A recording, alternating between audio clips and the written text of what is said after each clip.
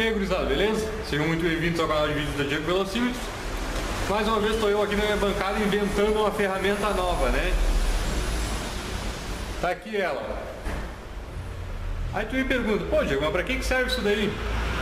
É o seguinte uh, Isso aqui vai ser um sangrador de freio pneumático Ele vai ter um, um reservatório aqui pra baixo, né?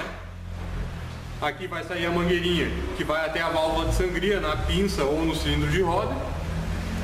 E aqui vai entrar a tomada de ar de um compressor. Né? Então nós temos aqui, vou aproximar aqui para vocês. Ó. Nós temos aqui um registrinho, né? A gente vai poder abrir e fechar para aumentar ou diminuir a vazão de ar que vai entrar aqui na mangueira. E pela mangueirinha daqui ela vai sugar, né, via vácuo, todo o líquido de freio fazendo uma sangria aí perfeita do sistema para você que trabalha sozinho em sua oficina, assim como eu. O que, que foi utilizado? O segredo todo está aqui, ó. Um biquinho pulverizador daqueles, muito usado em lavagem para pulverizar desengraxante, até nas próprias oficinas.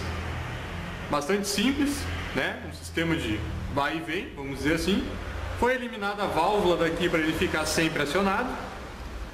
O ar vai entrar por aqui, vai passar por ele né? Normal, vai passar por ele aqui, vai ser soprado para dentro do reservatório e por arraste, né? Ele vai puxar por depressão o líquido de freio que vai entrar por aqui e sair para dentro do reservatóriozinho.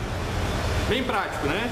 Eu vou demonstrar aqui agora com essa garrafa, tem uma mangueirinha aqui nela, como se ela fosse o nosso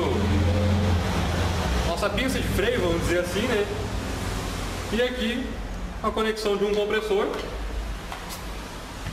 E beleza. Conforme você abre aqui, vai gerando vácuo lá dentro. Ó. Vocês vão escutar o barulho, o ruído aí com certeza. Vocês podem olhar aqui a garrafa, ela já começa a murchar nesse momento. Isso que eu abri muito pouco. Mas vamos botar pressão. Olha aí.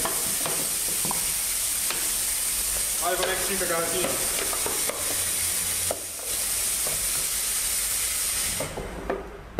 Show de bola, né? Sistema inverso, se você fecha aqui, ela infla de novo.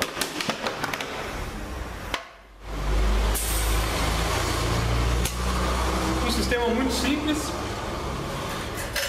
barato. Deixa eu desconectar ele aqui.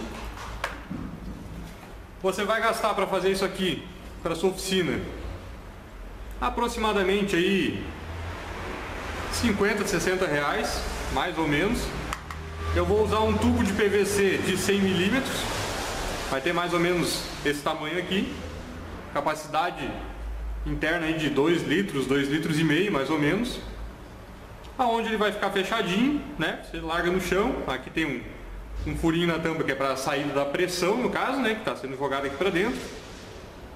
Você larga ele de pezinho, conecta a mangueirinha do compressor aí, sangra lá, como vai funcionar? Você vai abrir a pressão aqui, não muito forte, mas uma pressão moderada, né? Deixa eu abaixar um pouquinho aqui para aparecer no vídeo. Vai abrir uma pressãozinha moderada, tranquilo.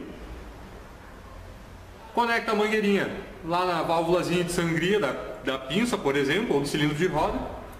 E abre o parafusinho na manha.